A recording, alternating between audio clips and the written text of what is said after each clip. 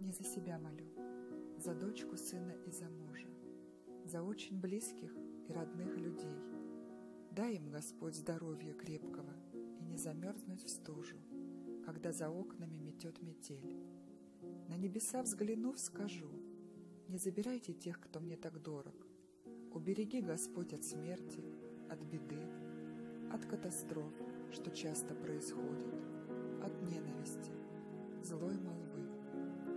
Врагам моим дай совести и счастья, пусть, радуясь, живут день ото дня, обходят стороной их пусть ненастье, и, наконец, забудут про меня.